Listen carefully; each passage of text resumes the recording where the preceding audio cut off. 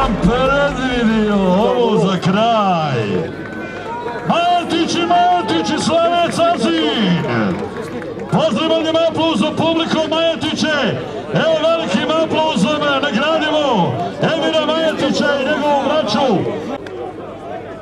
Bio bi na Mukađu 350 eura. Emire, Nemoj se udaljavati ako neko hoće na drugu stranu može.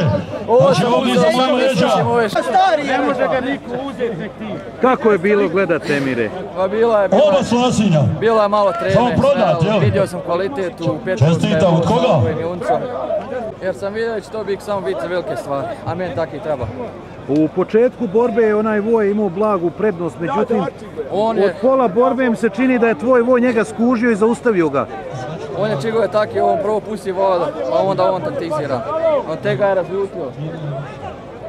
Još nije jezika bacio, još jednu borbu lako mora bositi. I ništa, želio je pozdraviti sve ljubitelje ovoga sporta. Vidimo se iduće godine u srednjoj kategoriji.